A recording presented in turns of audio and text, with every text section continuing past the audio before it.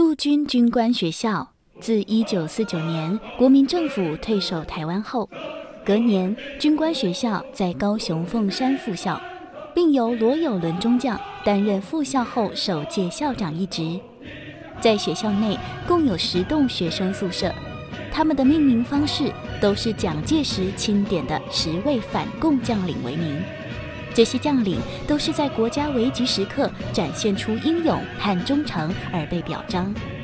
学校也希望透过这些典范，成为黄埔子弟的楷模与表率。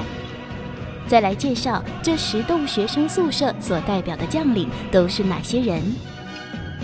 第一栋，知其楼，代表人物是黄埔四期的戴之奇。毕业后。戴之奇随军参加北伐、剿共与抗日战争，在抗战中，戴之奇屡次挫败日军，被升为青年军师长。一九四六年七月，戴之奇升任整编第六十九师中将师长。十二月，肃北战役，戴之奇身先士卒，浴血奋战五天五夜，双方伤亡惨重。后在共军持续增援下，直到冲进指挥所。戴之奇知道战局已无法挽回，于是自强殉国，时年四十二岁。第二栋安澜楼，代表将领是戴安澜。戴安澜是黄埔军校第三期毕业，曾参与北伐及剿共等战役，并在抗日战争时以血战昆仑关以及远征缅甸闻名。一九三九年十二月。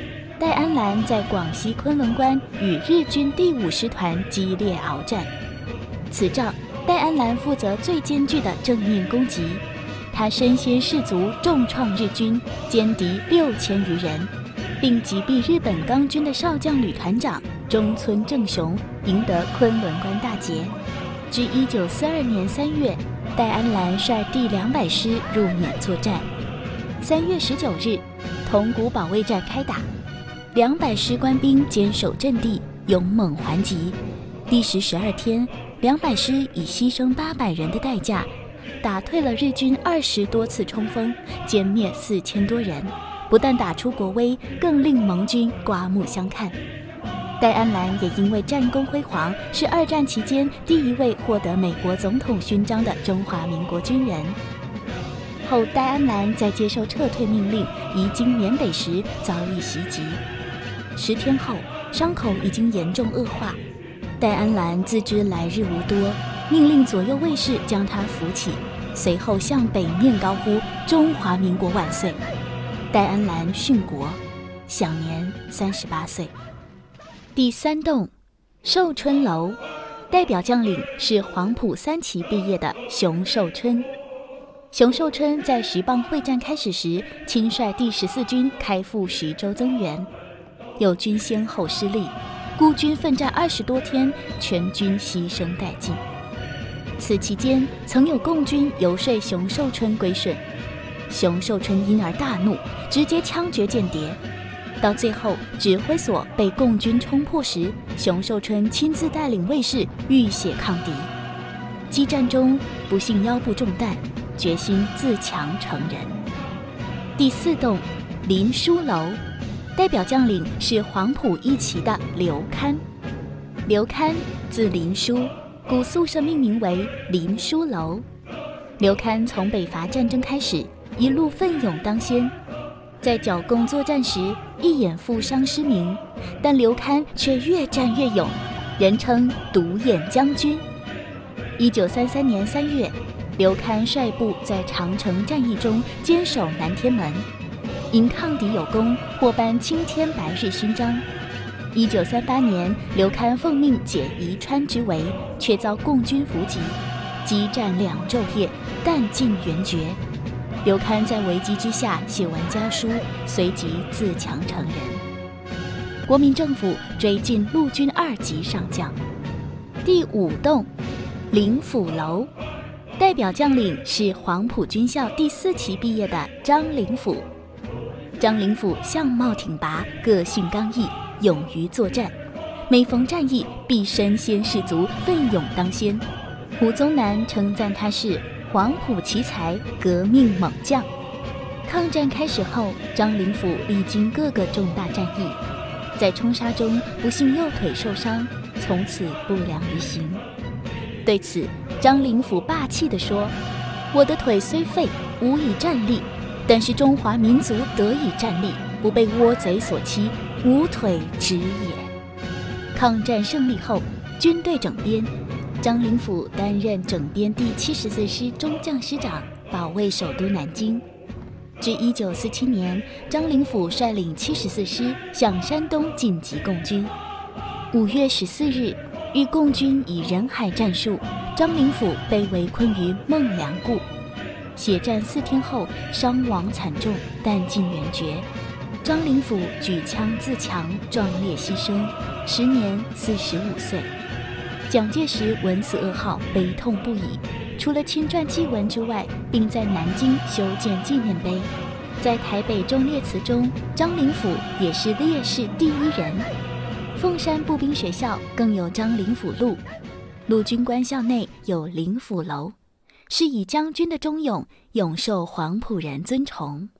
第六栋仁杰楼，代表将领是黄埔第五期毕业的蔡仁杰，任陆军整编第七十四师副师长。抗战期间，参加数场重大会战，屡建奇功。一九四七年五月，与师长张灵甫固守孟良崮一带，血战四天后，弹尽援绝。蔡仁杰不愿被敌俘虏，追随张灵甫于阵地内自强成人，时年四十五岁。国民政府追赠为陆军中将。第七栋，长青楼。代表将领是黄埔四期毕业的胡长清，任第五兵团司令，兼川康游击纵队总指挥。一九四九年春，胡长清奉命驰援宣城，因仓促应战，以致兵败，后拔枪自强，子弹穿过左胸，被及时发现，成功抢救。至一九五零年，胡长清经过休养后，又临危受命，重返战场，守备西康。在遭十多万共军围攻溃败后，仍沿途苦战，拒绝中共招降，坚决奋战至最后一兵一卒。三月三十一日，胡长清在弹尽援绝下举枪殉国，追晋为陆军二级上将。第八栋清泉楼。代表将领是黄埔二期毕业的邱清泉，在战场上，邱清泉以勇猛善战、敢打敢拼著称，历经抗日、剿共和远征缅甸等多次战役。至抗战胜利后，邱清泉任第二兵团司令，参与十棒会战。一九四八年十二月，邱清泉被解放军合围在陈官庄地区，在困守四十多天后。邱清泉自知战况，决心成人，时年四十七岁。第九栋雨农楼，代表将领是黄埔六期的戴笠。因为戴笠字雨农，故学校把宿舍命名为雨农楼。戴笠长期从事特务工作，在抗日战争中，戴笠和他领导的军统局破译了许多日军密码。还将日本偷袭珍珠港的命令提前通知美国。回顾戴笠一生，可以说是情报界少有的天才。他无师自通，忠贞为国，在抗日战争时期有着无可抹灭的贡献。至抗战胜利后，一九四六年三月十七日，戴笠乘专机飞往南京时，飞机失事身亡。戴笠遇难，举国悼念。国民政府追晋为陆军中将。第十栋，百韬楼，代表将领是黄百韬。黄百韬，第七兵团司令官。一九四八年七月，豫东战役中，黄百韬面对华野优势兵力，亲率战车救援友军，以司令官身份带头冲锋。黄百韬虽然负伤，仍死战不退。部队受司令官激励鼓舞，拼死猛冲猛打，稳定了阵地。此战后，黄百韬获颁青天白日勋章。